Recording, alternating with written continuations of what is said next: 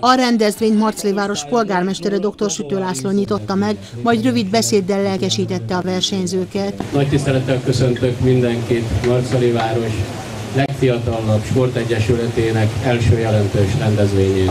Igazán öröm számunkra, hogy a városban új egyesület alakult, amelyik a minőségi úszást tűzte ki célul, és mindenképp jó versenyzőket szeretne nevelni, ez pedig elengedhetetlen az, hogy jó versenyeket is tartsunk. A verseny fővédnökségét Móring József Attila országgyűlési képviselő vállalta. Város és civilek, illetve város és sportegyesület együttműködése az példaértékű, miközben itt a verseny előtt a himnuszt hallgattam, azt jutott eszembe, hogy annál jobbat, szebbet nem is kívánhatok nektek, mint azt, hogy győztesként, ha majd felnőttök, akkor minél többször hallhassátok a himnuszt. Én mindannyiótoknak nagyon jó versenyzést kívánok.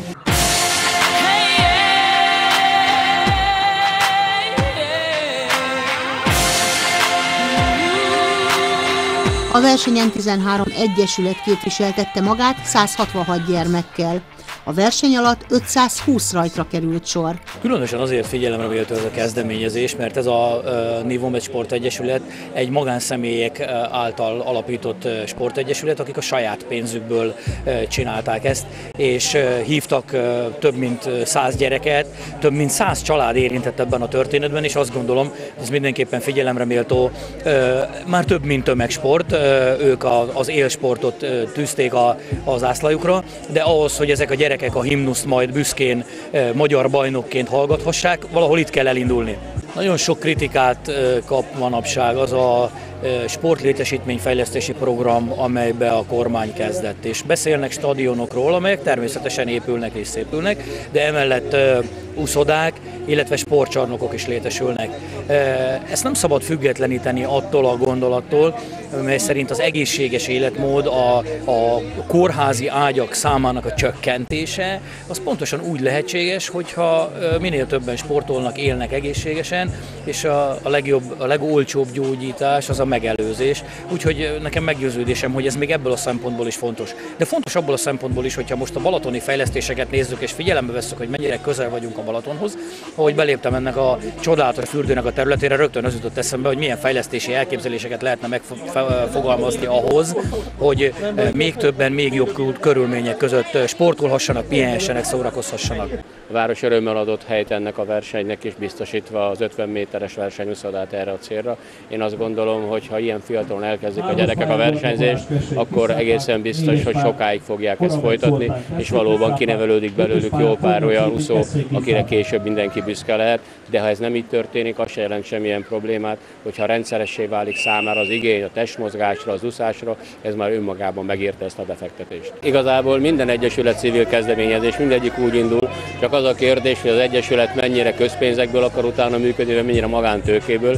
Itt egy olyan szituáció van, hogy maga az egyesület élet, annak a finanszírozása az magántőkéből történik. A város ehhez elsővel létesítményt tud biztosítani, amire ha belegondolunk, hogy milyen bérleti díjak vannak mondjuk egy uszodába, akkor nem elhanyagolható. A Nivomet Egyesület versenyzői is természetesen rajthoz álltak. Az első Nivomet kupa abszolút győztese Vörös Fanni lett, aki négyszer állhatott a dobogóra. Gadányi Hédi a 2011-ben születettek közül három aranyérmet zsebelhetett be. Gondoltuk, hogy mivel Marcelinak itt van ez a gyönyörű gyógyfürdője, illetve úszodája, sajnos nincsenek ilyen rendezvények, amivel ezt ki lehetne használni, ilyen jellegű kihasználtsága lenne.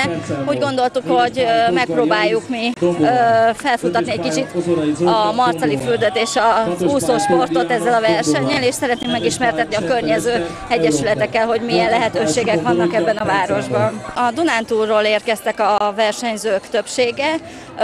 2011-es a legfiatalabb versenyzőnk, ő marcali származású, illetve 1999-es születésű gyerekünk is van, ő pedig Sárváról érkezett, a Sárvári gyógyfürdőnek a versenyzője. Öröm látni ezeket a kisgyerekeket, hogy tényleg már ebbe a korba elsajátítják az úszó technikákat, illetve már magába a versenydrukkot is ugye le tudják győzni. Milyen neki tényleg, meg milyen a mostani korosztály, milyen ez a merítés? Én azt gondolom, hogy nagyon kitartóak ezek a gyerekek, és kitűznek maguk elé egy célt, amit mindenképpen szeretnének megvalósítani. Ezt saját tapasztalatból is tudom mondani. Marceliban hogy folynak a mindennapok az úszóedzések?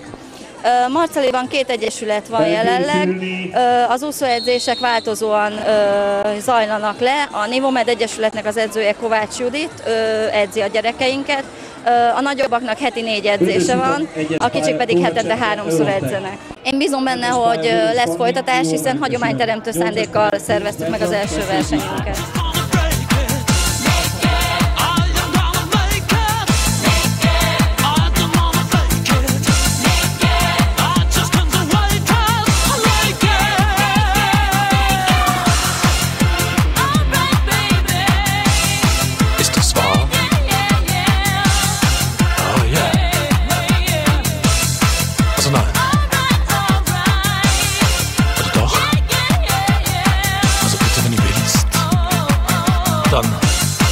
done. Other done.